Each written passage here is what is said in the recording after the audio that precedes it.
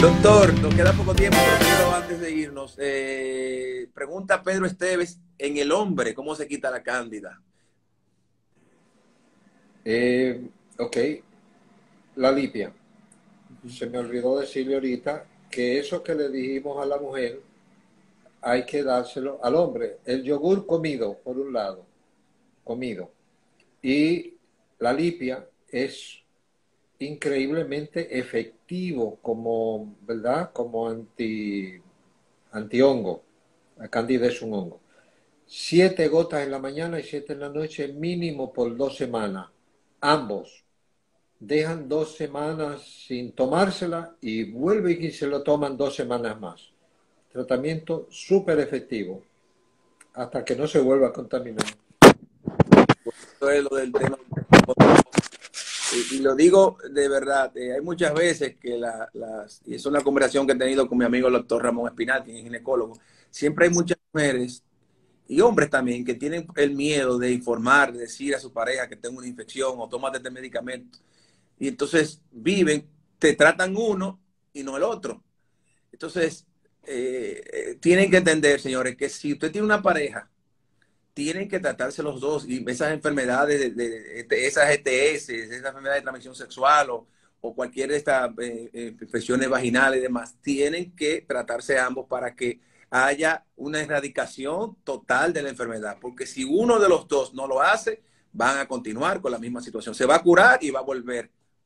Así es que es mejor hablarlo, y buscar una... Yo sé que a veces son temas delicados porque a veces se piensa que tal vez pudo haber sido una infidelidad o una situación fuera del matrimonio, pero o de la relación, pero no necesariamente. Ya hemos hablado del tema del agua, hemos hablado de otros temas que pueden ser causantes también de esta situación. Eh, vamos a ver, doctor, tenía una pregunta por aquí antes de ir. Ok, Vanessa nos pregunta, para los vértigos, ¿qué me recomienda el doctor? Hay países que mastican el jengibre, doctor. No sé si eso. Sí, sí, masticar jengibre o tomárselo como té es eh, para los vértigos o mareos por viajes. El jengibre, en, en este caso masticado, ayuda muchísimo, increíblemente bueno. Cuando es ya patológico y es el vértigo de Menier, Menier, Menier se escribe, eh, hay ya un problema del oído medio, ya hay otro tratamiento más complejo, pero en definitiva hay que actuar mejorando la circulación, la llegada del oxígeno al oído medio. Y eso no es difícil. casi siempre son personas de la edad de Pablo y mía, nosotros somos de la misma edad. Sí. Estoy de acuerdo, doctor. De la edad de Pablo y mí. O sea, que ya después de los 50, 40, no, 40, no, 50, 60, 70 años, el, es fácil que esa parte de nuestra anatomía se deteriore y haya que tomar medidas. Pero hay un tratamiento naturista. ñapa, esta es para mí una ñapa, así. Eh, leí trato de, estaba leyendo una, una, información acerca del uso de la hoja de la coca y también del cannabis, que ustedes hemos hablado de eso. Y me gustaría, tenía eso en mente, preguntárselo al doctor Mañón, ¿cuál es su parecer, doctor, con respecto al uso de esta, de la hoja de la coca que es utilizada en los países en Sudamérica, en Centroamérica, también del cannabis, que es la marihuana, ¿no? Eh, del uso de esto para el tema de la medicina, eh, que tiene muchísimas aplicaciones, pero me gustaría escucharle a usted que cuál es su parecer. La hoja de la coca es medicinal, es estimulante eh, en, cuando se mastica la hoja.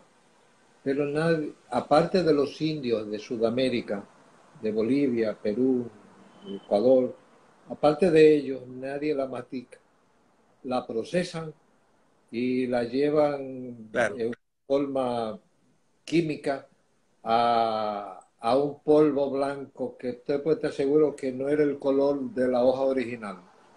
Em, y le echan hasta gasolina a eso. Le echan hasta gasolina. Yo vi ese video y no lo podía creer. Hasta gasolina le echan. Wow, o sea que el que se manda un viaje de coca, eh, ¿cómo que le llaman? Un pase. Prende un carro también. Eh, un pase. Doctor, ya la gente no dice pase, eso era los 80 que decía. Yo no sé cómo que dice, pero eso era antes, dije un pase. Me quedé, me quedé atrás. sí, gracias a Dios que nos quedamos atrás. Y, y en el caso del cannabis, eh, la, mira, hay una fracción cannabinoide que es medicinal, que es analgésica y para enfermedades eh, crónicas, musculares, eh, ha sido bastante efectiva, osteoarticulares, ha sido bastante efectiva y es de prácticamente el tratamiento número uno.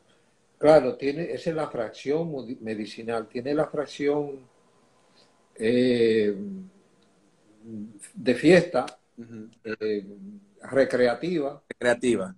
Esa no es medicinal. Aunque, doctor, disculpe que me interrumpa y tal vez lo contradiga, pero eh, he visto, porque hay muchos estudios que se están haciendo, y ya Estados Unidos ha legalizado en la mayoría de los estados el uso de la marihuana, que, por ejemplo, el primer uso que se le dio a la marihuana cuando se, le permitía a algunos pacientes utilizarla era para la glaucoma, para el glaucoma. Era uno. Y vi también que se está utilizando para los casos de personas autistas, dentro del espectro autista, para las disminuye muchísimo que le dan a, a los a los eh, a los pacientes dentro del espectro autista. O sea que hasta ahí, y para el investigaciones con respecto al uso de esto y por eso también se lo comento que, que tenemos que también estudiar esa, esa posibilidad, ¿no? Pero los que la compran en la esquina, no, para glaucoma, para el SIDA, ni, ni, para nada, ni para el autismo. Así es. Todas las plantas medicinales tienen una función, tienen algo de bueno.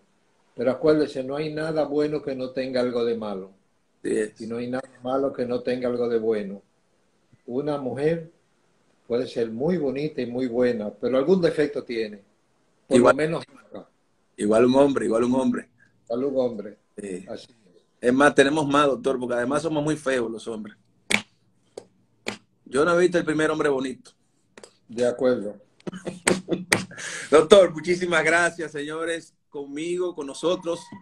Estuvimos conversando con el doctor Wilfredo Mañón, de verdad que para nosotros es un gran placer eh, poder tener estas interacciones y deseándole a él mucha salud. Doctor, despídase de su gente.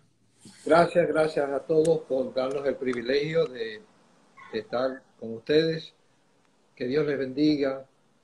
Créanme, podemos generar buena salud teniendo una buena alimentación e incluir en nuestra rutina diaria cosas buenas como son las frutas, los granos, las semillas, las plantas medicinales, el ejercicio, el reposo. Dios les bendiga. Eh, señores, debajo está el teléfono, doctor Mañón, 330-809 para cualquier pregunta de, eh, por esa vía a través de WhatsApp, 809-330-2605. 809-330-2605. Ha estado ahí pero para las personas que van a ver este programa a través de Telesistema, sepan que es un mecanismo, una vía para, para contactar al doctor Mañón. Doctor, muchísimas gracias, muy buenas noches a, todos, buenas noches y gracias por la sintonía. Bye bye. Vaya amigos de Facebook.